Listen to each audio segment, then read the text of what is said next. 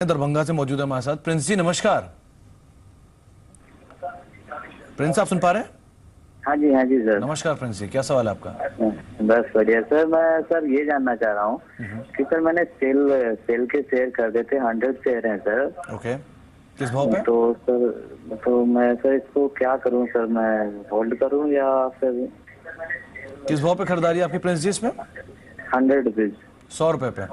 और time frame क्या रखते हैं आप? सर, मैं होल्ड कर सकता हूँ, सर, अगर आप सजेस्ट करें तो। चलिए। किरण, सवाल है इनका। Steel Authority of India Limited SAIL को लेकर करीब सौ रुपए के भाव पे सौ शेयर इनके पास हैं। आज खबर भी थी, करीब डेढ़ लाख करोड़ रुपए कंपनी निवेश करने वाली है। 2025 तक अपनी कैपेसिटीज एडिशन को लेकर। आपकी राय कहती है सेल पर? क्या कर सकते हैं?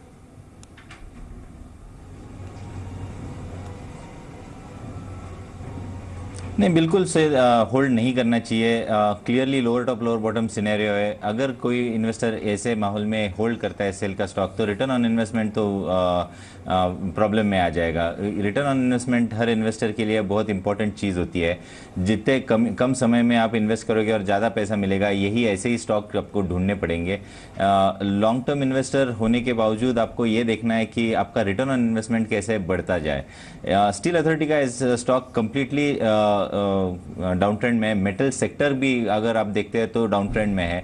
और कमोडिटी साइकिल भी हम हम डाउन डाउन ट्रेंड में देखते नज़र आ रहे हैं। तो मेरे मेरा ये मानना है कि ऐसे स्टॉक्स में ऐसे सेक्टर में आपको निवेश करना बराबर नहीं होगा।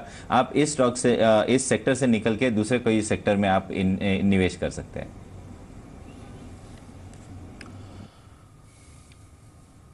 जी। चलिए इस बीच अब हमारे साथ हमारे अगले दर्शक हैं मोहम्मद जहांगीर हैं हमारे साथ राजस्थान से। मोहम्मद बोलिए क्या है सवाल आपका? Hello sir ji. हेलो। हाँ जी बोलिए क्या सवाल है? सर जी मैंने 500 शेयर लिए थे 276 में। तो इसको बेचूं या रोकूं कितना होल्ड करूँ? किसके? कौन से शेयर लिए थे? Mahindra and Mahindra Finance. Okay okay ठीक है एम एन एम फाइनेंस के। 276 पर लिए थे ना 500 शेयर्स आपने। एक बार देख लेते हैं बिकॉज़ ये टिपिकली जो uh, जिस स्पेस में ये है महिंद्रा फाइनेंस वो एन में ये बहुत बड़ा आउट परफॉर्मर साबित होता नहीं है। There are other poster boys लेकिन फंडामेंटली ठीक कंपनी है 246 पर है तीस रुपए का नुकसान है आपको फ़िलहाल।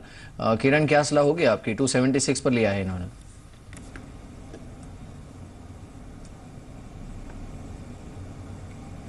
नहीं बिल्कुल होल्ड करना चाहिए मेरे ख्याल से कि इधर बहुत बड़ा डाउन ट्रेंड नहीं दिखाई दे रहा है। ये स्टॉक कंसल्ट करता नज़र आ रहा है और सपोर्ट के नज़दीक है। 230 एक बहुत बढ़िया सपोर्ट है इस स्टॉक के लिए। उसके नज़दीक है तो मेरा मेरा ये मानना है कि आप स्टॉप लॉस लगाइए 220 का और होल्ड कीजिएगा।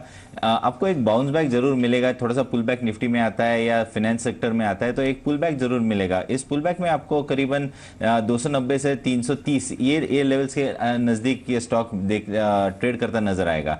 इन लेवल्स पे आप वापस एक बार फ़ोन करके रिव्यू ले लेना चाहिए कि क्या करें। अगर 330 निकल जाता है तो एक बहुत बड़ी मूव इस स्टॉक में दिखाई देगी।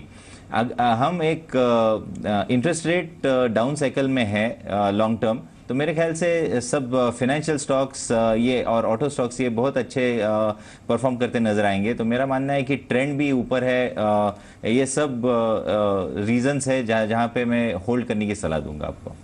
जी।